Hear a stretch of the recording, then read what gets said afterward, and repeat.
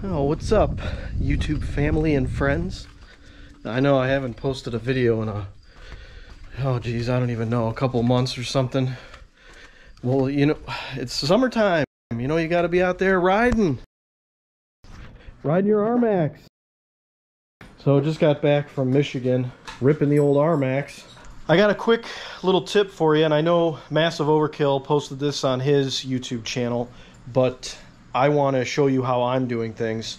The hood on this thing, it sometimes gets flappy here, so that's super annoying, and what it should be is nice and tight.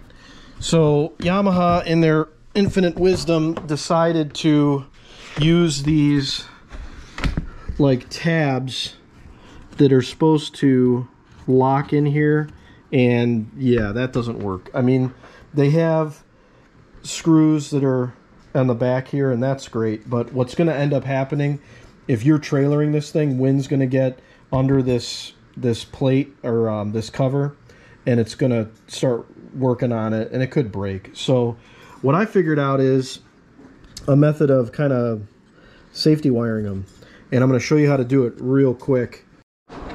Yeah, so the mic, this is 0.115, so 7 64ths or eighth inch would be fine. So that's all you need. And then just some wire. This is just, you know, um, copper wire. Uh, safety wire would work fine. You, you want something that's not going to rust. So I'm going to take my vice grips and I'm going to grab it and I'm going to come down at the bottom right here and I'm going to drill a hole through the tab right to the underside of this.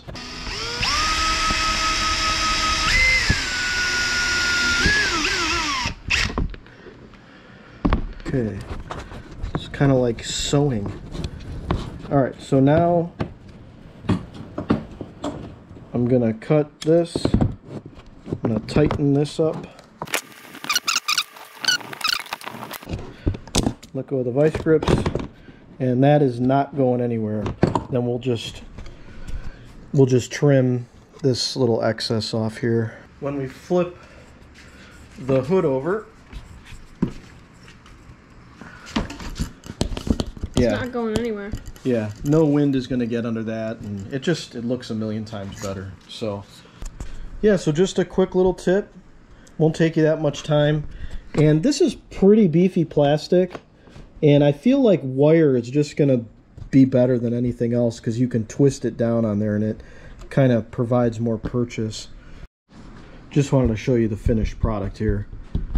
There's no gaps and no air is going to get under that when you're trailering your RMAX. So looks a hell of a lot better too. No flappy jappies in the in the breeze. Anyways, uh, quick one for you, and thanks for watching. Hope you guys are having a great summer. We'll talk to you later. Bye-bye.